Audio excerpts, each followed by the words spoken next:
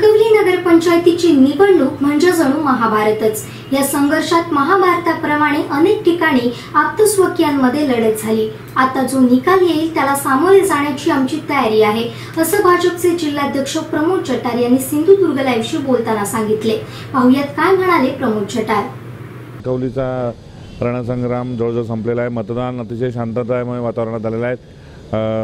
तळकोकणातील भाजपचे एक एकमेव आमदार असलेले माजी आमदार प्रमोदजी जटार आणि विद्यमान जिल्हाध्यक्ष प्रमोद जटार आपल्यासोबत आहे. जटासाहेब सिंधुदुर्गच्या विशेष भागामध्ये तुमचं स्वागत. काय सांगाल? कणकवलीचा रणसंग्राम जो संपूर्ण महाराष्ट्राने बघितला आहे तो संपलेला आहे.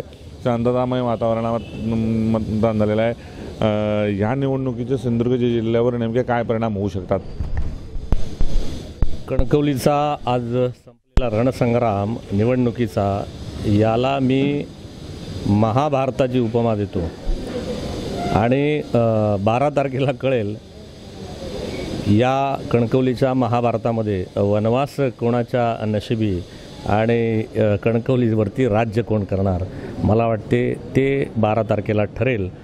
आणि मला एकूण ह्या सगळ्या निवडणुकीमध्ये एकूण असलेली राजकीय भूमिका त्या त्या नेत्यांची लक्षात घेतल्यानंतर असं लक्षात येते की काही नेते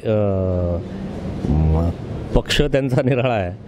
ते लोकप्रतिनिधी निराळ्यात आहेत पक्षाचे आहेत.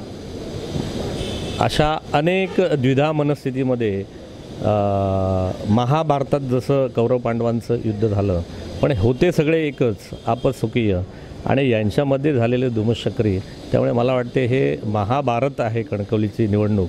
आणि त्याच्यामध्ये बारा तारखेला वनवास कोणाच्या नशिबी आणि राज्य कोणाच्या नशिबी राज्याभिषेक कोणाच्या नशिबी ते ठरेल असं मला वाटतं. मिडल स्टंप घेऊन खेळतात क्रिकेटमध्ये जसं खेळतात.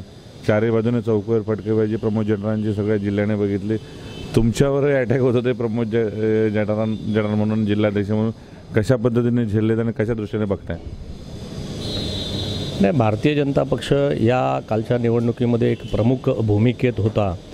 आणि आमची भूमिका अशीच होती की केंद्र आणि राज्य सरकारची सत्ता भारतीय जनता पक्षाकडे असल्यामुळे युतीकडे असल्यामुळे कणकवलीला सुद्धा केंद्र आणि राज्य सरकारच्या विकासाच्या आणि सत्तेच्या सरळ रेषेत आणा हीच आमची प्रामुख्याने भूमिका होती.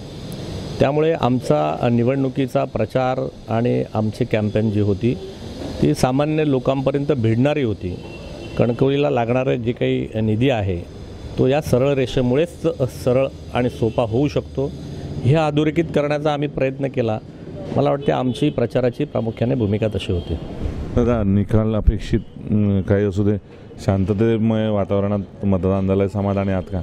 मी पण आभार मानतो की आपण सगळ्या या खिलाडू वृत्तीने आपण ही सगळी निवडणूक घ्यावी.